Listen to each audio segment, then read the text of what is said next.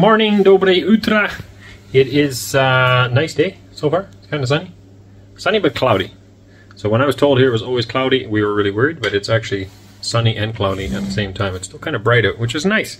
We are still working on paperwork. A bunch of comments like, when are you going to learn Russian? Um, I've been here for three weeks. It's going to take me a lot longer than that. I'm sorry, but I don't learn quite, quite that fast, so we are learning slowly.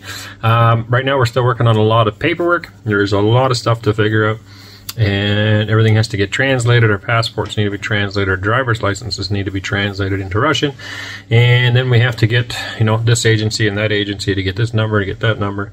We're working our way through it, so it's going to take some time. We can't uh, become citizens for a long time yet, anyway, but we are hoping that we will be in time for all of our paperwork as far as. Um, temporary residency and permanent residency. We're pushing ahead for that.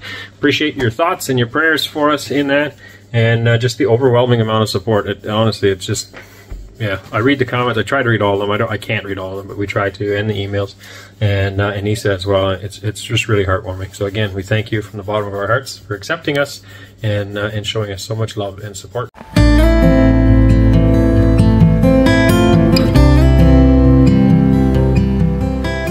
The other thing that we're working on is vehicles. So we're trying to find a vehicle. Now, I don't know how it works in all of your countries. In Canada, at least in Ontario, every time you change ownership of a vehicle, it has to pass a safety certification, which I think is kind of annoying, but at the same time, it ensures that the vehicle is safe and it keeps a, uh, a record of the vehicle. So, you know, person A bought the vehicle and then he sold it to person B and it had, let's say, 100,000 kilometers on it.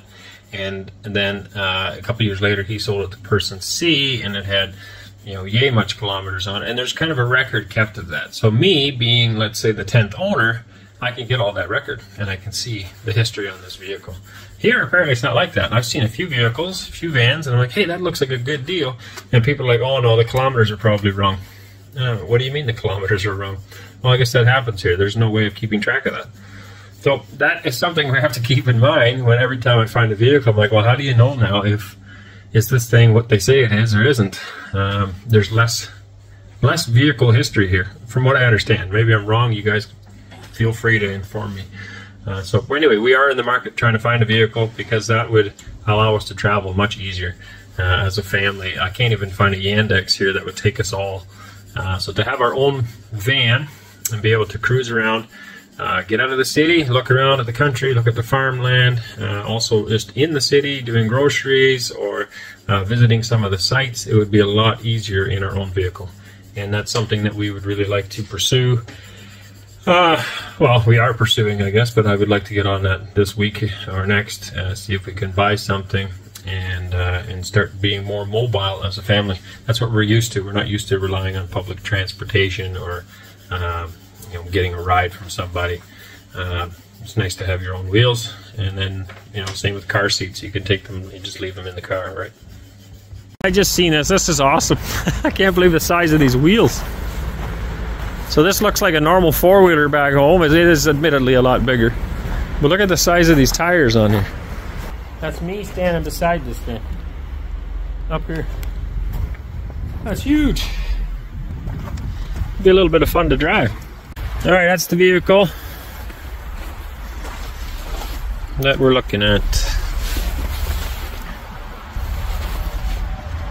Rear wheel drive. Uh, what do you see? Oh yeah, they painted some, eh? It was. Yep, somebody did some fixing. That's why I brought Alexei.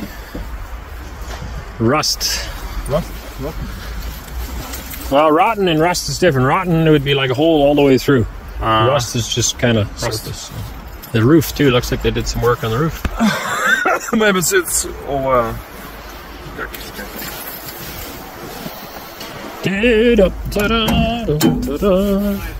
Oh, and the inside's nice.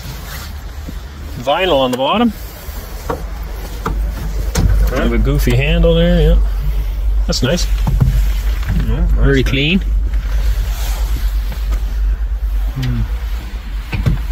Too shabby. I wonder if they can get me an extra seat. One, two, three, four, five, six, seven.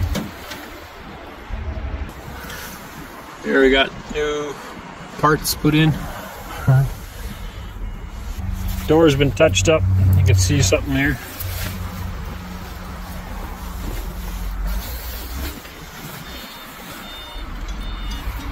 Painted the rims. Där, där. They did a good job cleaning it up. Där, där, där. Station's ready. First time I've seen it, that's actually cool. So ours, the handle's here and you pull, and the back doesn't always want to come out, and so people rip the handle off. And so this one you have Just to like do what? do it two hands. Nej, tog hem så. Yeah, that makes a lot of sense. That's actually smart. I've never seen that before. there you go. Little things that impress me, eh? Sunroof. Two, four, five, six, seven, eight, nine. So I need an extra seat. That would be the big problem. Probably turn this around. Turn it around, add one more seat. Nah, turn around just uh, like this and this. You allowed to do that from the side? Yeah. Oh yeah, maybe. I don't know. Or find another bench just like the back one and set it in here, and then the kids can still scoot in through here. Hmm. Rusty, yeah? Good work. Well, yeah, but the price for the price, probably not bad. I don't know. What do you think? You think it's too rusty? No! We've bought a car! That's Honda, which standing on in the yard, huh? Yeah. And when we we suppose it's rather good, but when we lift it up, insurance. All right. So, what do we see in here? That's the price there, right? Nah, he'll give a little discount for us. Oh, that's a nice guy. Anyway, it means not much to me. 2016. There's the year. Ah, 16 year. 2000. One problem here, we got two seats in the front. We could probably add one there pretty easily, legally. Here, we could add one here, I think. But he says if you turn these around, you get stopped by the police pretty quickly. So this one comes up to about here. Would leave us a little bit of room. Kids could still get in if we added a third one here. Uh, here, it'd be hard to add a third one because then nobody can get to the back. And they're individual seats because I thought well, maybe you could just put four bums in the back of there, but then you're going to be sitting on top of the seat belts. Not. It's not a bench. So I'm not sure. Uh, no air conditioning. Uh, we do have this big window that can open up, and the side windows that can open up. And there's no heat in the back right now, only in the front. to get this guy here and blows to the back, and then the heat in the front. It will be difficult to have this. Alright, Alright there's the bottom side. Engine, transmission. Very tiny. Rather new? It looks pretty clean so far.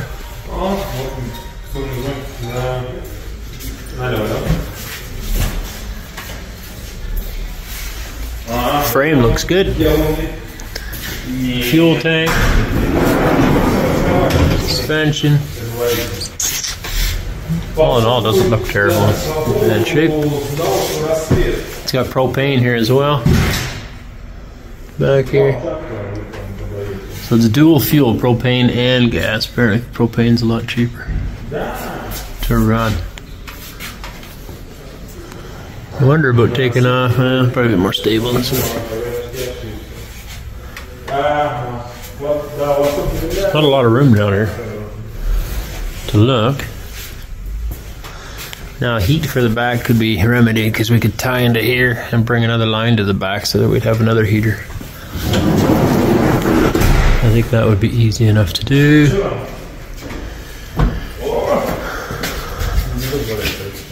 I just noticed here, you can see they've got this goop around the front of the oil pan. And uh, there's leakage, a little bit of seeping oil coming out of here. And of course, as you're driving, it runs all the way down to here. And I'm assuming this is also from that, or it's got another oil issue because this is sopping wet back here too. I don't know. It's the. Yeah. Notice this one in the yard too. I don't know if it's for sale. I'm assuming it's got no license plate on. It's a nice vehicle too. No price tag on that one. There's no price tag on this one. So this one's got eight seats as well. One, two, three, four, five, six, seven, eight. That's a nice van. Very nice. All right, everybody, tell me what you think of that vehicle. Uh, I actually really liked it. I've had a lot of Russian people tell me not to buy a Gazelle, and I'm not really sure why. They're not dependable, they say, and, uh, it seems like most of you guys actually prefer uh, foreign cars, and I don't really, I'm not sure exactly why. So let me know that down there. Uh, I took this one for a test drive. I really enjoyed it. It was actually very comfortable. Um, it seems sturdy enough. I, I, really don't mind it. And um, personally, we feel like we should support the local economy as much as possible. So those are built here. Why why buy a vehicle that's made in another country? Then we're supporting another country. And I mean, there's nothing necessarily wrong with doing that. But what's best for Russia is if we support Russia. So we would prefer to buy a vehicle that's made in this country if we can find one. Um, now, as far as used vehicles are concerned, I suppose it doesn't really matter. We will be buying used. We can't afford to buy a new one and uh, that used one would be owned by someone in this country. So it's still there, but uh, I really like to would like to try a gas, either uh, uh, you know a four, four four wheel drive model or something else. One issue I had with this particular van is there's not enough seats. There's only nine seats in there, and we need ten. So I'm told we can change the registration to allow for more, and um, you know that's going to cost a bit more money. Plus, we'd have to find another seat. It's possible. It's doable.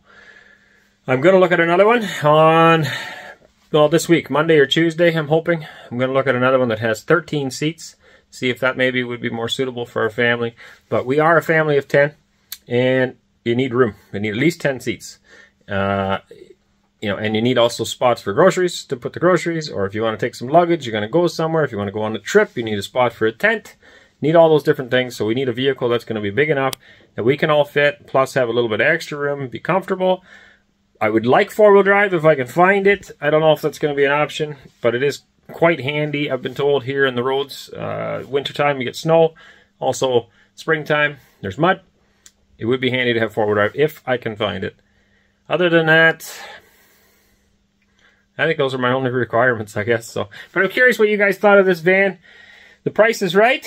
Um, know, that's kind of an important thing. We don't like, personally, we don't like spending lots and lots of money on a vehicle. Uh, a van does not make you any money. It's just something that gets you from one spot to another.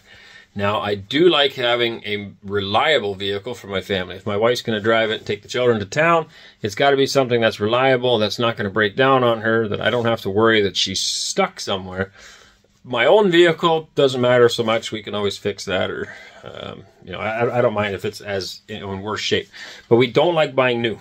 I don't like spending a lot of money and having a lot of dollars uh, or rubles, I guess in this case, tied up into a vehicle because it doesn't make money. I'd rather spend that money on a cow or on a tractor, something that I can earn an income for my family with. And um, and that's why we're looking at used models so that uh, we can save a bit of money. But at the same time, we want something that's reliable. I don't want I don't want to buy somebody else's junk. It has to be a good van. So anyway, drop your comments down below. As always, we appreciate it. We try to read them all. I do not have time, honestly, for every single comment.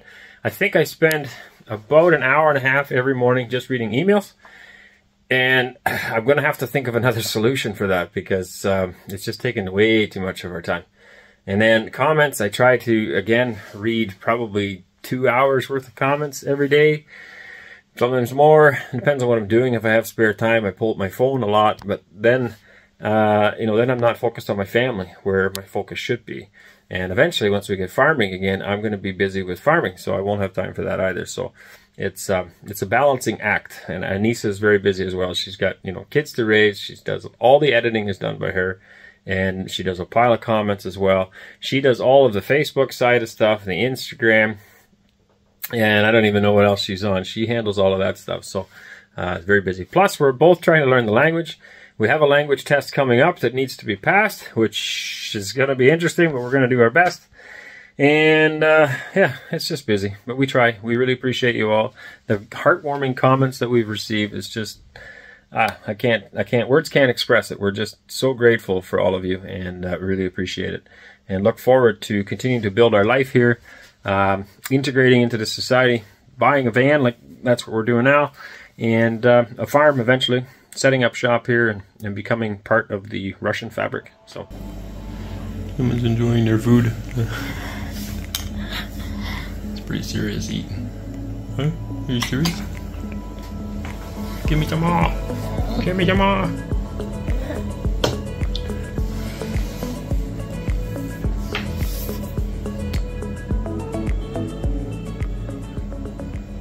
Good morning, everybody. I just uh, finished reading a whole whack of comments. Uh, still try to get as many done as I can, but it's it's it's tough. There's so many of them. Uh, I appreciate them. I really do. We both do. Going on my face here. It's all red. Anyway, we really appreciate the comments. It's it's heartwarming. I mean, you get a few silly comments, a few dumb ones, uh, a few that are just downright nasty, but by far, like still 95, 98% of the comments are, are really nice and heartwarming and uh, lots of advice, lots of uh, words of caution. One thing that is always challenging as a foreigner, so if you're thinking of moving here or, uh, or you already live here and uh, you want to offer help, it is challenging because we're, we're new here. We don't understand the language. We don't understand um, well, language would be the biggest one, I guess. But just every country has its own way of doing things, things that collect, things that work. So obviously in Canada, we understand those things, and we we have a network of people. I've used the same real estate lawyer for the last I don't know eight or ten years, and we trust him. It's a partnership, right? Um, you know, banking. We use the same bank manager for I don't know how long. These are relationships that are built up that we we trust these people and we can work with. Ba, ba, ba, Hey. Hey. Yeah. Hello. Hi.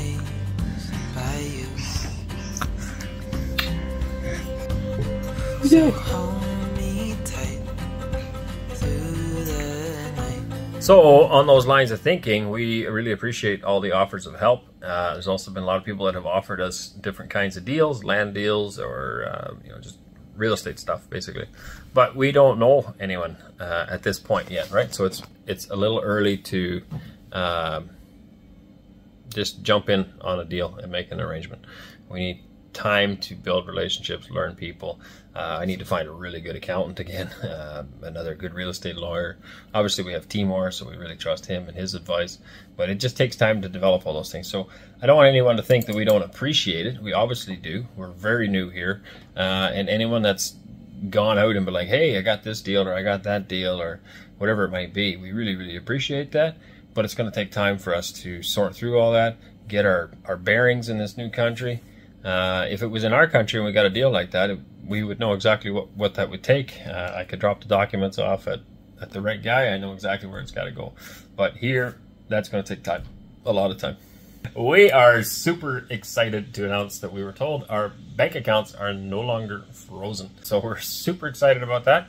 What it came down to, we had to drop off a bunch of documents to prove uh, the sale of our home in Canada and then also to uh, try to explain to them that uh, we have a YouTube channel. We're vloggers. This is uh, our only source of income right now. This is what we do. And, uh, you know, we have donations from generous people like you. And uh, that's that's where we're making our money. So it was kind of hard to explain that, hard to, like I can't provide documents for that kind of stuff. Obviously we can from the farm. So, but the combination of the two, everything seems to be taken care of. They, uh, they reviewed it. They had a meeting with us and um, so we were pretty happy to hear that it was unfrozen. Other than that, yeah, hopefully it doesn't happen again. They have it on our file now. That, you know, there's X amount of transactions happening. They know who we are now, and it should not get flagged again. And I didn't know this, but I've learned by reading all the comments down below, and I'd encourage everyone else to do it. Read the comments. There's a lot of good advice that we're getting down there from people.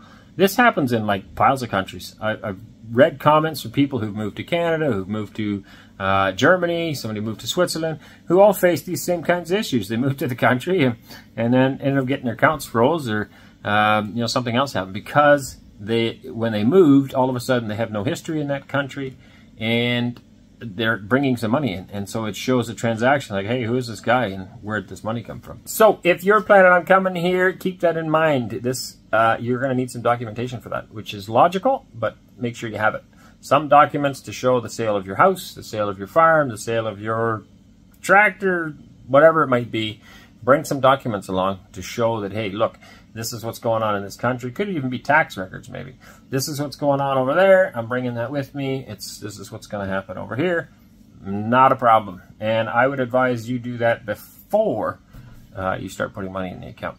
Go to the bank because I actually talked to two, three other guys that are here that moved here, and that's what they did. They went to the bank first and said, "Look, I'm so and so. I sold this. I'm moving to this country. This kind of money is going to be coming in the account." And the bank said, "Okay, no problem. It's all good," uh, and they didn't have an issue. We, on the other hand, didn't do that. Didn't really think about it. I know some of you say, "Well, you should think about it." There's a lot of stuff to think about when you're coming. It's just, you know, we got a lot of kids. You got to look after things. You're looking after your house, trying to figure out where to get groceries. Can't remember everything. Hindsight, yes, we should have thought about it. Bring the paperwork, go to the bank, show the bank. You will not have an issue. God bless you all. We'll catch you in the next one. Sick and tired of the nine to five in the city. Hey, darling could get out of town. See the beautiful world around. Wanna see it now. Pack our bags and get in that car. Leave a little note and we'll drive real far